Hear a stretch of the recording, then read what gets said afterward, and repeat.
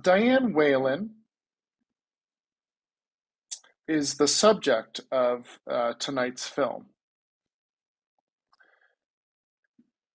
And she experienced a call to the priesthood when she was very young and answered that call in whatever ways were available to her through parish ministries, as a Jesuit volunteer, as a social worker, and as a spiritual director. She completed her bachelor's in religious studies, a master's in social work, a master's of arts in ministry, and a doctor of ministry in spiritual direction. And she continues her work of spiritual direction to this day. She and her husband, Bill, have been happily married for 45 years and have two adult daughters.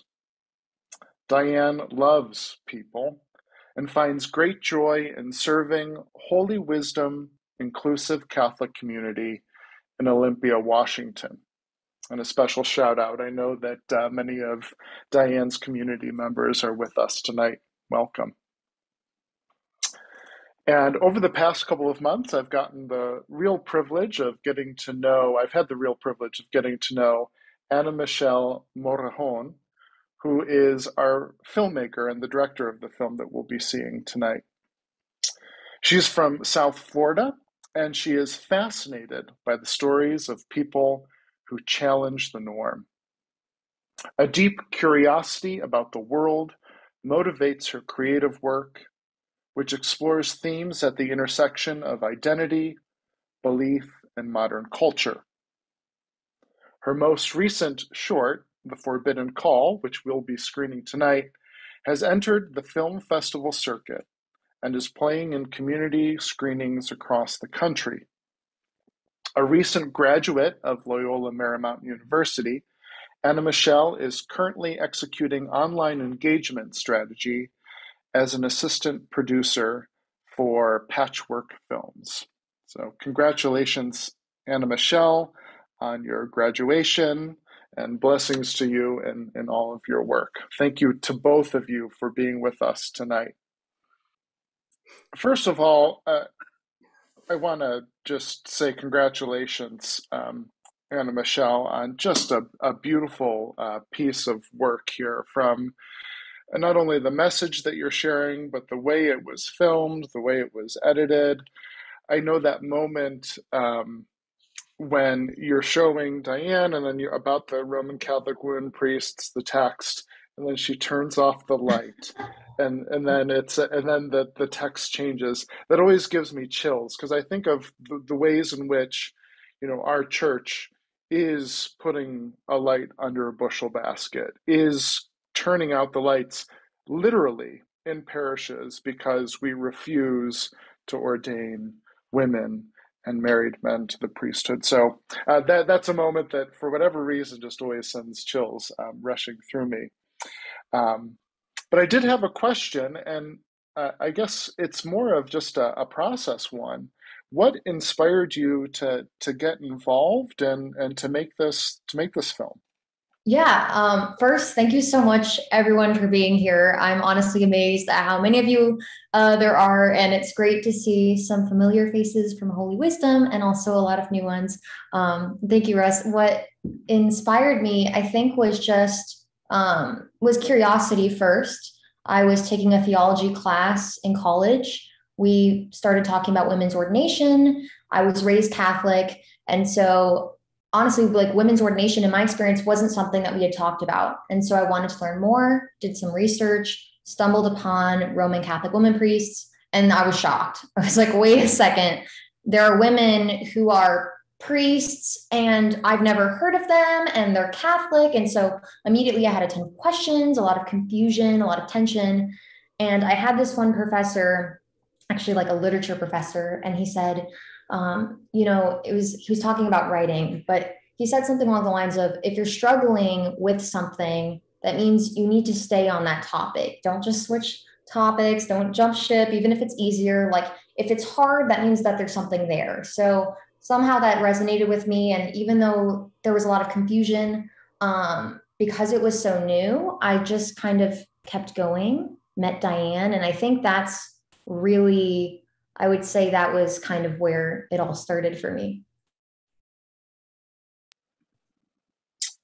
Great, thank you. And so, I mean, Diane, you you get this email from AnaMichele, and I'm sure it's out of the blue, and you know things progress. So, what what inspired you to to to say yes to this project and to be willing to share your story in this particular way? Well, because I was the first person in uh, Washington State to be doing this, um, I had had other people ask for interviews. I had have had academics who are doing books or articles or something say, "Well, can we interview you?" Sure, no problem.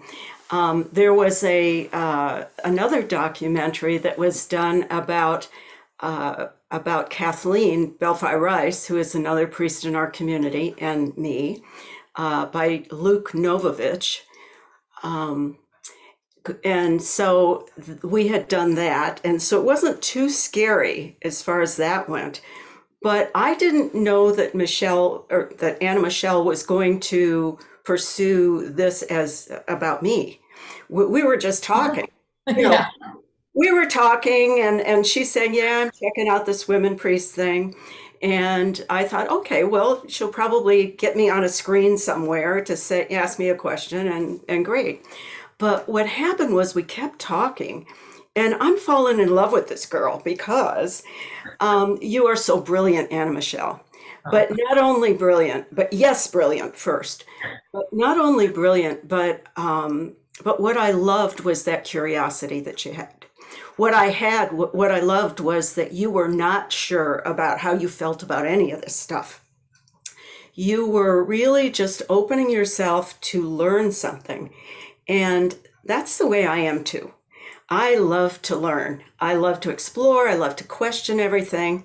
And um, to have a young woman as brilliant and articulate and loving as you to to ask me about my life and ask me about this call i was so honored i am so honored and and then to work with you and see how careful, how respectful, how um, prepared, everything was just so lovely.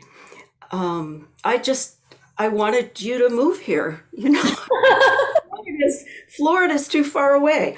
So, so I was just, I, what I loved was your curiosity, but you engaged me. I wanted to, I wanted to do whatever would be helpful. Besides that, um, part of my vocation, as it has been, has been not just to be a parish priest, but also to kind of get out there and and let people know about Roman Catholic women priests. And I do it in my own way. A lot of the women priests do it in in different ways, but um, but I love to be with groups of people and just see what happens.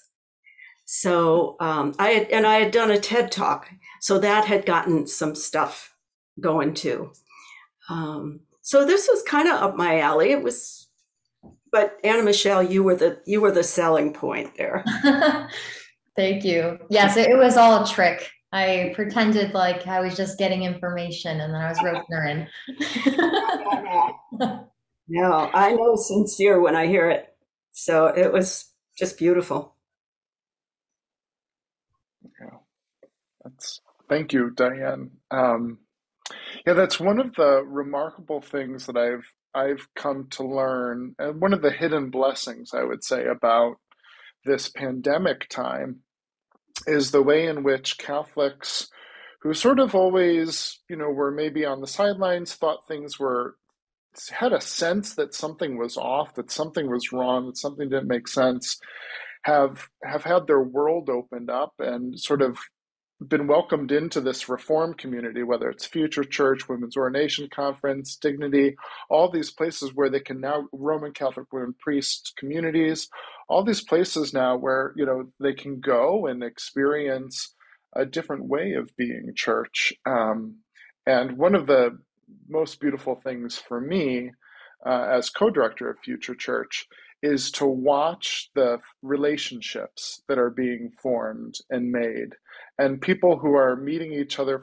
you know on opposite ends of the earth and becoming you know friends um, and and it's just a beautiful thing to witness and you know a real honor to to have some minor role in that. Um, so i wonder if the two of you could sort of speak to how your relationship has grown over the course of of the project and and what it means to you today and sort of what your hopes are for it into the future? Yeah um, i could start. I think as diane nicely laid out it started off with me just kind of sending a email many zoom calls. I think from our first meeting though like we knew we connected. I remember diane was like i'm just having so much fun and we had we just had to do it again. So we were just having a lot of fun so I think it always started off, uh, you know, from a, a just place of connection. I think is where it started and where it still is. I think Diane and her husband and even her kids who I haven't met have become somewhat of family to me, friends, and possibly like a informal spiritual director, I would say, of Diane, as she's answered so many of my spiritual questions. Well, and and for me, I just said I'd, I'd rather have you living close by because getting to know you has been such a delight. And it was. We had a lot of times where, you know, the big in the beginning it was like, well, I will stay to my hour with you. Yes. to me. I will stay to my hour with you. And I and and like I said, I at the end I'd say, well, we're just having a lot of fun. You want to do this again? And then we did. So, yeah, um, AnaMichele, you've been working way too hard um, recently, so we haven't had a chance to connect. Yeah. But I know it's because you've been working really hard and getting this film into film festivals, as I know that's quite a quite a project. But um, but you don't have to do that for the rest of your life. So do come back. I would love to. That's great. Uh, well, I want to bring in some of the other folks into our conversation. So just give me a moment here, and I'm going to give all of you the ability to um, unmute yourselves, but of course, one, one at a time. Uh, if you could uh, use the reaction button down at the bottom of your screen that allows you to raise your hand, uh, I'll see that you've raised your hand and um, go ahead and call on you, and you can unmute at that time.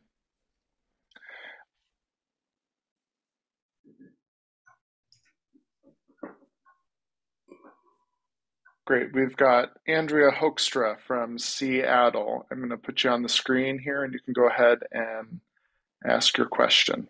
Hi. Thank you so much. Um, Reverend Whalen, do you do, do you follow the lectionary? For the most part, we do. Yeah, we do. Um, I think that we've had some movement within our community at different times asking that we incorporate um, a canon. So to incorporate more poetry and things like that. But for the most part, yes, we do follow the, the lectionary. And part of that has been because many of the people who come are coming out of Catholic parishes where they're used to the lectionary. Um, but we do use the inclusive Catholic lectionary um, uh, put out by uh, what back in Baltimore.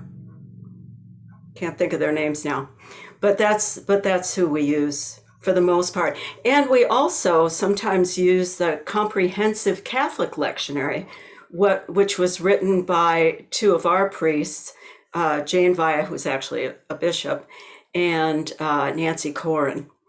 So, but we do follow the lectionary schedule for the most part. Thank you. Thank you. Just wanted to um, jump in here and um, mention that it's the Quixote Center um, that that produces that produced the uh, inclusive uh, Catholic Bible, and actually um, we'll have some news about that hopefully in the very near future. Um, let's see, uh, Jeanette, I see you've got your hand raised. If you want, uh, we can go ahead and bring you on the screen if you start your video. If not, you don't have to. You can ask your question over audio too. Okay. Hi, everybody. Um, yeah, and so I really am a Clevelander. Um, taught Regina High School for 14 years. So high school theology campus minister all over the place in Cleveland and worked at Covenant House and Community. And so now I'm en route to a Benedictine community as a uh, retired person because I'm an oblate. So I'm going to serve for a year at um, St. Scholastica's in Atchison. So um, I'm loving this and um, I've been connected with Future Church for so many years, directly and indirectly. But really, what I wanted to say was I'm very, very grateful that um, I'm connected with the um, the community of St. Hildegard out in Fairport Harbor. And uh, Reverend Dr. Shannon Sterringer is a Roman Catholic woman priest, amazing woman. And she actually has um, is uh, ministering as as the pastor of her own church out of uh, out of St. Michael's, which used to be Byzantine, right down the street from St. Anthony's of Padua. And I'm just currently reading her book, which is interesting, called Forbidden Grace. So she just did a whole parallel. It's um it's Hildegard of Bingen and her own personal call, and it's it's a juxtaposition and a you know really a synchronistic display of, of their lives together and how there's so many parallels. And and I love being away and I'm able to you know connect with the community online.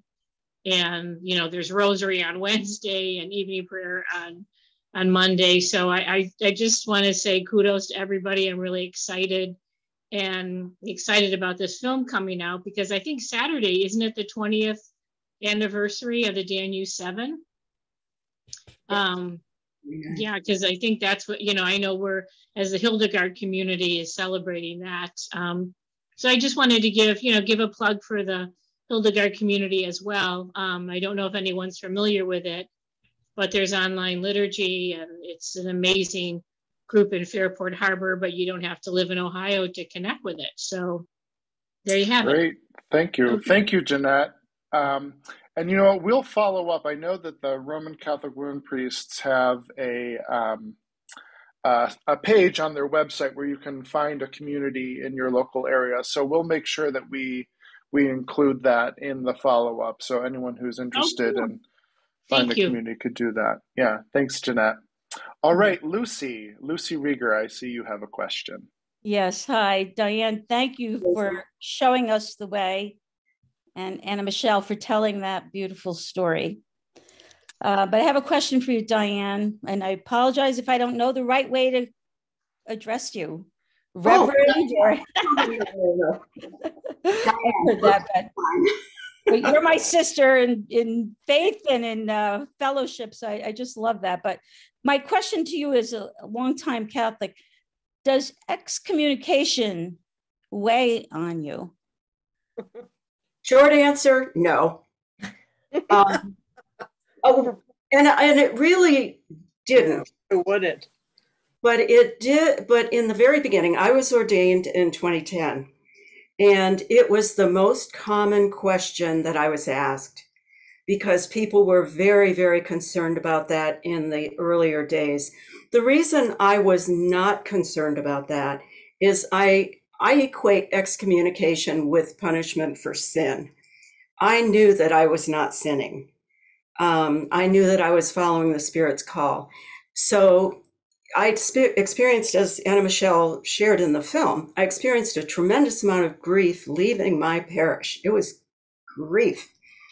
But I knew that I was doing what I needed to do. And and the excommunication, the canon that uh, offers us excommunication for this, is an unjust law. And so we need to say no to unjust laws. Otherwise, we're going to be in a worse mess than we're in. So there it is. Thank you and God bless you. Thanks so Thank you. Thank you. Great. Thanks, Lucy. I see uh, Ryan Bloor. You have a question? Let me see. I'm going to ask you to unmute. My, na- my There name you is go. Jo- my name is Joy. Joy. Okay, Joy, welcome. Um, this is quite a big moment for me. Um, I'm from New Zealand, uh, Christchurch. I was 77, and I think I have lived with a call uh, to priesthood for many, many decades and have been fearful about voicing it. So, this is the very first time that I've said anything. Um, I was a Sister of Mercy for 18 years. And at the very end of that uh, time, I experienced probably what we would now call burnout. I couldn't find a spiritual director who had any understanding of emotional and psychological development, Mhm. and nor could I find a, uh, a psychotherapist who had any appreciation for my faith. So my life's task has been to find the bridge between emotional and psychological development and religious belief. My journey uh, involved excommunication, so I have um, some depth of feeling around that because not long after I left, I met again a priest whom I had known in my ministry as a Sister of Mercy, who himself had left without my knowledge. And we went through all the due processes, but um, because it was just at the time when John Paul II put the drawbridge up, my husband uh, was denied um, uh, release from his priestly vows. And uh, so we went ahead and got married, which was probably one of the most difficult uh, things in my life I've ever had to do. Um, we fortunately had a really sympathetic bishop who just basically told us to do what we needed to do with his blessing, but he couldn't do any more. Um, my, and I will come to my question, my journey took me to train as a psychotherapist here in New Zealand, um, but the models that I was learning did not address the deeper questions that I had. I couldn't find a model to address what I had experienced which included two very powerful dreams the night I made the decision to leave. I knew nothing about Jung at the time, Carl Jung, but my husband was an avid, really much wanted to become a Jungian analyst. And so I guess I prepared the way for him. And then unexpectedly, I was invited on the same, it's a big story, but I was, in, I, was, I was invited to train at the Institute in Zurich, which was completely unheard of. I'm right from the bottom of the world and most people here don't know what a Jungian analyst is. Mm. Um, but I, I finally got to Zurich, and which, which really was the journey of my life, and took me into depths. And I found the model to, um, to, to put together the two huge questions that I had in my life. Um, everything that I'd believed in, the lights were just turned on in a way that still staggers me. Um, and in the middle of all that, I came across what I now understood was an experience of the divine feminine, and it completely blew my mind. Um, I was with a Buddhist body therapist as part of my training as an analyst. It was a parallel process, and I was taken into a journey which was very, very demanding.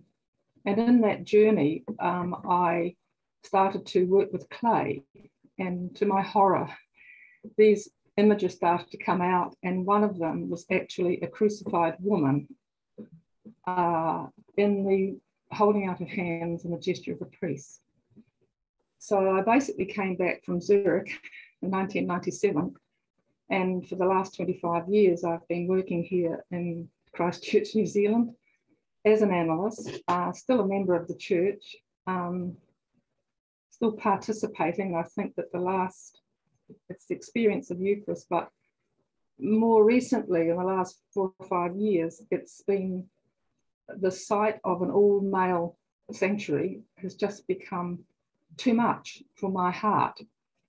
Um, and so I think there is a deep call there, but at 77, coming up 78, I'm. I don't think I'm going to see it in my in myself and in my lifetime. however, I've found a way, I think, and I wanted to ask you, Diane. Um, I feel I'm a bridge person. Um, the model of Elizabeth and Mary has been very, very strong in my heart. Um, I think many people forget that Elizabeth was actually the first prophet. She is the one who identified Mary as the bearer of the divine. And yet she probably didn't live to see uh, that, um, the fullness and the horror actually of what happened to the child that she identified. And so I think that I've painfully had to come to the point where the sacrifice that I feel I'm called to make is to bear that suffering in a way that I hope will bear fruit uh, for the next generation. And I was very moved, Diane, by yours and um, AnaMichele, is it? Relationship. I, I identified that with so profoundly to the joy of seeing a young woman um, just as you described her. So I, I wanted to ask you, Diane, um, I probably, if, if that call, if I could, if I was able to activate that call, I think my model of priesthood for me would be someone who I would love to be able to celebrate Eucharist, mm-hmm. to anoint, um, to assist in reconciliation, and probably as a spiritual director, with the, with priesthood because I feel in my life I've done the pastoral for a long time in my earlier years, and my my longing I think is to bring women in particular and men with them into a much deeper awareness of the of the magnitude of what we are called to, and and the, the tremendous treasure that the Roman Catholic Church, despite its fragile earthen vessel, holds for the world and that's what I've learned through my study of Jung's insights into Catholicism in particular. Um, so I wanted to ask you, um, Diane, thank you first for your courage. Um, I was very moved when I saw the two of you sharing. Um, I identified so much with, the, with some of the pain that you express. And I just don't know what else to say except to thank you for your courage um, and to give me the opportunity to voice something which I've held inside for a long, long time. What did it feel like for you when you felt, when you were finally ordained? What, what was your experience of that, of that call in your being? What difference did it make from knowing you had a call to actually receiving ordination? I felt like I was myself. Yes. Fully myself in yes. a way that I had not experienced before. I guess that's, yeah. yeah. That's what I feel in myself. There's something that's not complete. Yeah. Although Joy, you are you're on you're doing the journey. You're yeah, you've just made a huge step in in saying this to the world. that's a huge thing to be able to do that. Um, also, being in New Zealand, um, there is a group there. I, I don't know if you're familiar with them. Oh, then you must. I will just, um, I'll let you know. Louise Shanly, S H A N L Y, is part of our Holy Wisdom community. And she and others have been gathering um, and and they are they're gathering they are church and um, they may be a, a, beautiful resource for you. And i and i would say you don't look like you're on your last legs. You could pursue you can pursue uh, the Roman, other, the other, sorry the other difficulty is that about five years ago my husband had uh, unexpected complications from major, major heart surgery. It was a near death experience. And so I'm almost, I'm caught, not caught, but I, my reality is um, I'm it in terms of my husband. And, and again, it's like, what is God telling me through this? I would, I would encourage you to um, get a hold of Louise, um, look up progressive Catholic women in New Zealand and uh, I don't even know, Louise might even be on this and might be able to put something in the chat. But I would encourage you. I would encourage you, and I I just give you my blessing. And Thank you, Diane. thank Is you. it possible to be able to contact you sometime? Yes, yes. Um, Thank you. I'm not, yeah, Yeah. we can do it through Russ. I'll, I'll connect you to Yeah, yeah. Okay. Thank you very much. And, Yeah. and thank you for Yeah. all the other wonderful women that are there. I noticed there's somebody from Australia, so I didn't feel quite so isolated. but, uh, but thank you Thank you. very, very much. God Thank bless you. Joy, for sharing Thank- your story with us. Thank Thank you. Uh, okay, let's see. Uh, Mary Springer, we have about 14 more minutes. So, Mary Springer, um, there's a few more questions. Let me bring you up here. Oh, Mary, could you go ahead and unmute and I'll get the others back on screen? I'm sorry.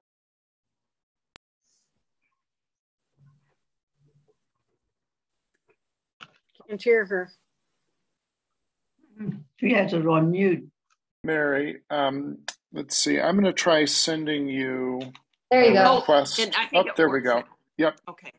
Um, that was an incredible documentary, and I was very moved by it. I am wondering, Diane, um, if you know Mary Ramerman at Spiritus Christi in Rochester. I went to college with her and and then was back in Rochester. And I remember um, she was is an ordained priest, but I I thought that it was the American Catholic or the Universal Catholic, or the term is a little different. Can you tell me if you know uh, of Mary, and if so, what is the difference between um, between the two priesthoods? Okay. Um, I do not know Mary, but I have met Mary. And I read Jim Callahan's book about them and the experience at Spiritus Christi. I have a lot of respect for Mary. Yeah. Um, she was, I, I believe, the first priest ordained, and she was ordained by um, Peter Hickman, who was a bishop from the Old Catholic Church, which is now called the Ecumenical Catholic Communion. The difference is, and, and I'm not quite sure, I know that she was ordained by him, but I she was not ordained, as far as I know, she wasn't ordained under the auspices of the Ecumenical Catholic Communion. I'm not quite sure about that because I don't, I don't remember if it was in the book, but I I know the difference between them.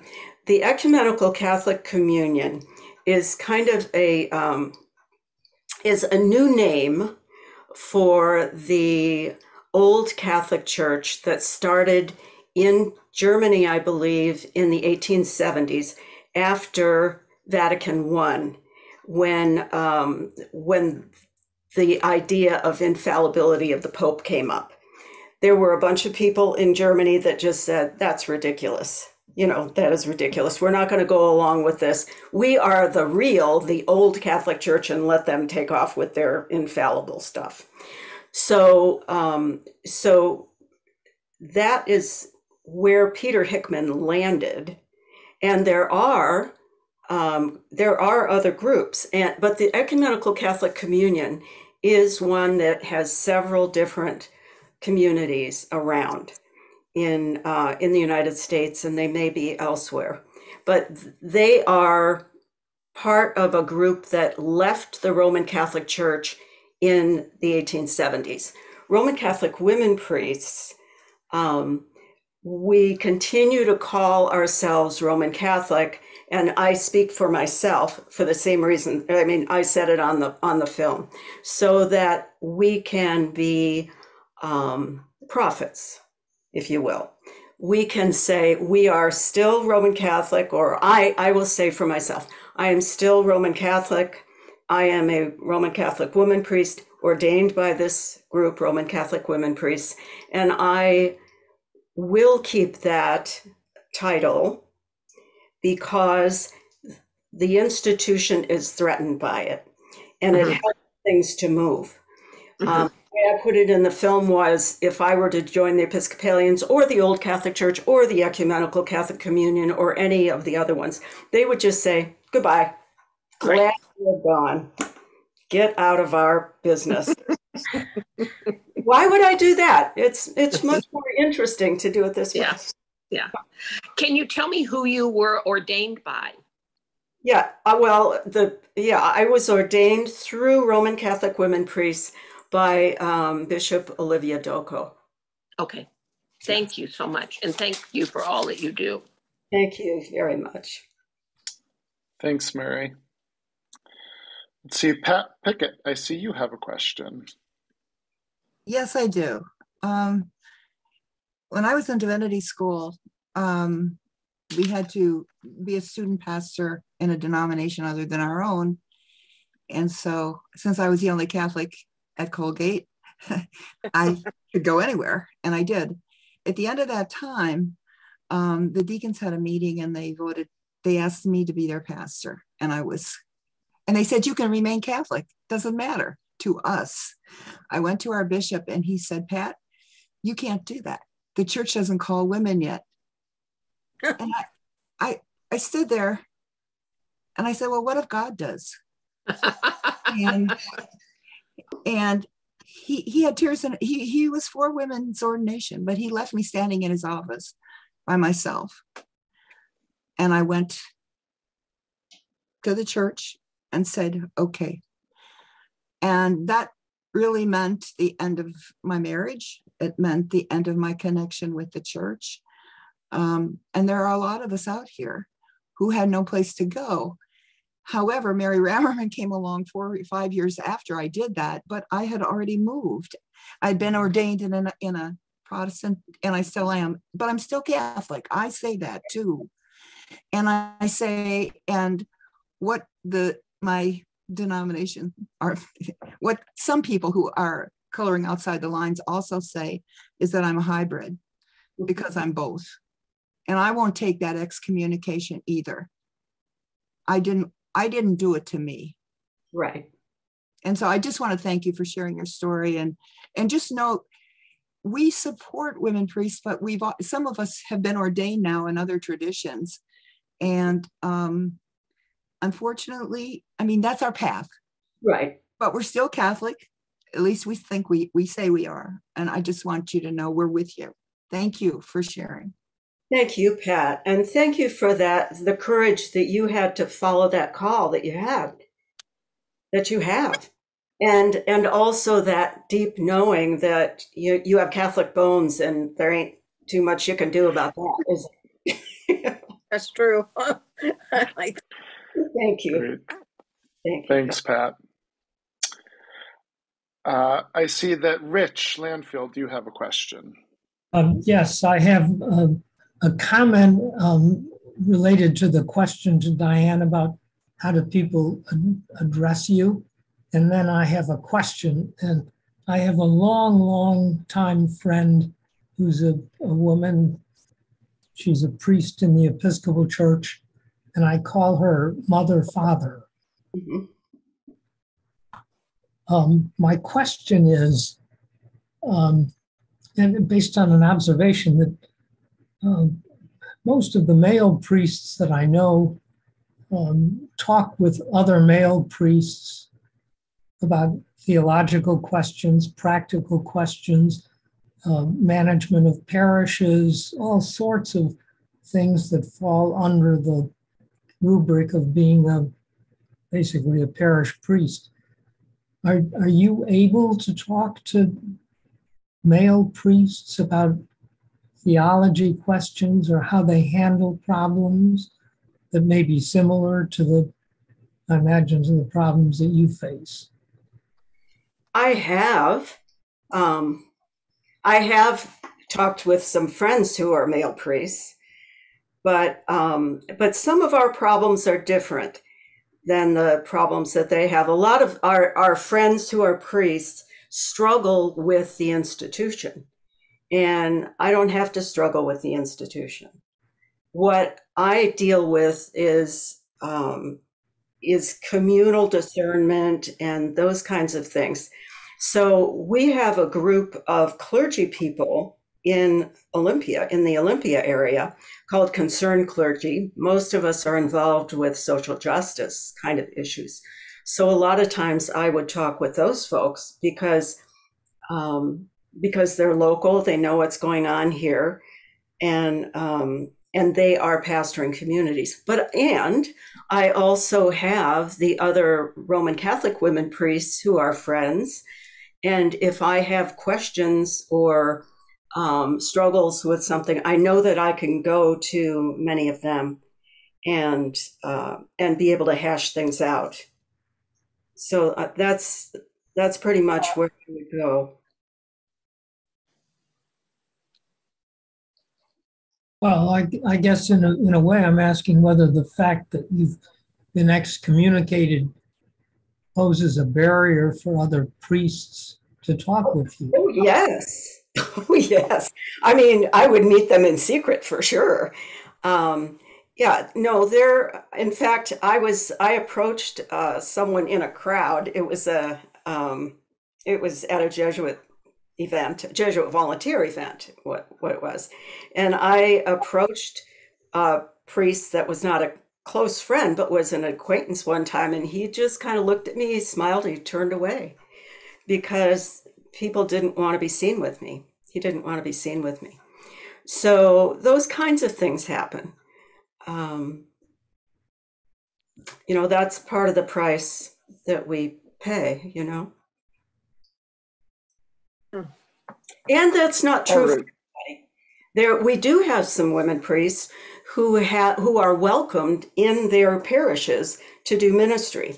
We have um, uh, Christine, who's in Austria, who was actually the founder, the, the original idea person for RCWP, is recognized as a bishop in her town by the Catholic bishop and the Catholic people. So it, it just depends on who you are and wh- who your bishop is, uh, which is true for a lot of us. Thank you. Thank you. right, thanks, Rich. We only have a few more minutes. I'm going to try to, uh, you know, if we could try to keep our questions succinct, we'll try to get as many of them in as possible. Thanks. I'm going to bring up Suzanne here. Well, speaking of bishops, um, I have a posted here. Hi, Diane. Um, some things I want to just quickly say.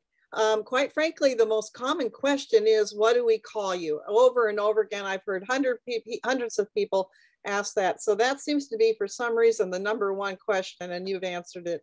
Usually our first names. Sometimes we'll say Reverend when we're doing a, a funeral or something. Um, the excommunication is definitely in the old days would have been a shunning. We would be in a village and we would have been terribly shunned. That it doesn't seem to be an issue. And I think, as you said, most of us are, uh, it, we don't pay a lot of attention to it. Um, however, men, there are many male priests that have been and bishops that are supportive of us, but really can't say much. Or they, like Roy Bourgeois, are, are somehow shunned in that case, or lose their uh, their retirement, or there's all kinds of quote little punishments. So the men, um, I wish would step up a little bit and speak out a little more for us, but I can understand why they're not. There are 276 of us worldwide. Our anniversary is actually June 29th, Wednesday. That's the actual date. And there is a, will be a, a, a ceremony or a, a thing in uh, Berkeley, California. And it is true that Shannon Sharon uh, is doing one in Fairpoint uh, a little bit earlier. I bet you would think we're all um, very progressive, but actually we have quite a diversity in the movement. And we have some pretty traditional priests and some very, very progressive uh, women and communities. So I um, suggest you go to our website and it's very easy to remember. Just run the words together, Roman Catholic Women Priest.org, and there you are. You don't even have to uh, put it up on the chat list. It's Roman Catholic Women Priest.org. Go down and it says find a worshiping community. There are about 80 of them worldwide, and we, I know, are all open to having anybody come and are very inclusive and are also uh, online, many of them. Um, and now we're starting kind of a hybrid. So you're more than welcome to check some of those out. And when it comes to being a bishop, um, we maintain that we have apostolic succession. So my paperwork has five or six popes in it. It's as good as any male and we maintain our ordinations are valid, but what we call illicit against that canon law, a couple canon laws. So again, I encourage you, there are 400 and some of you to check us out and go to that website. It's easy to remember. So, um, and Diane, it's good to see you. Thank you. Thanks, Suze. Thank you. So we are coming up on the hour here, but I do know that Deborah has a question um, for um, AnaMichele. So I want to bring Deborah into the conversation. Hi, Anna. Thank you, AnaMichele. Thank you so much for all your work that you've put into this. And obviously, you can see that you've inspired a lot of people. Um, I have a question about the um, you're putting this out in festivals, and I want to know how that happened, how that works. And um, will you be touring around at these festivals and giving presentations? Yeah, thank you for asking. So, right now, actually, I think it was like two weeks ago, not this past weekend, but the weekend before, I was in Atlanta. So it was accepted at a festival called Atlanta DocuFest. So it depends on the festival. You don't have to go if it gets into a festival, but I did share the Forbidden Call with a community in Atlanta. Um, it was, you know, it's very different setting than this one because not everyone was Catholic or religious. So I didn't know how people would react. Um, but really a lot of curiosity, a lot of interest. There was a Q&A portion, a lot of questions from people. And I think that's really exciting for me because and this is something Diane talked about. Diane did a TED talk. I don't I think it was the best TED talk, so I'll always kind of shout that out. But something Diane said in her TED talk was that this has like worldwide impact because Catholicism is growing rapidly in areas I think like Latin America and Africa which so this really becomes a global women's issue because who you have in leadership um, affects how women are treated, how women are perceived. So, anyway, so that's kind of part of my mentality in bringing this around in festivals is like this affects everyone. So, this isn't just a Catholic issue, this is just a Christian issue. This affects all women and all people. So, um, for applying for festivals, there's a ton of festivals out there. Um, I've been very selective in my process. So, finding festivals that are interested in women's issues, LGBT issues. Um, I don't think I've found any uh, spirituality oriented ones yet, a lot of social justice ones.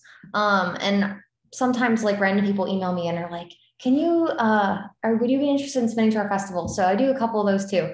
Um, so, yeah, it's definitely just finding the right festivals and audiences um, and that's through just Google. I don't know if that answers your question, but I am somewhat touring depending on where the festival is, um, but we're just at the beginning.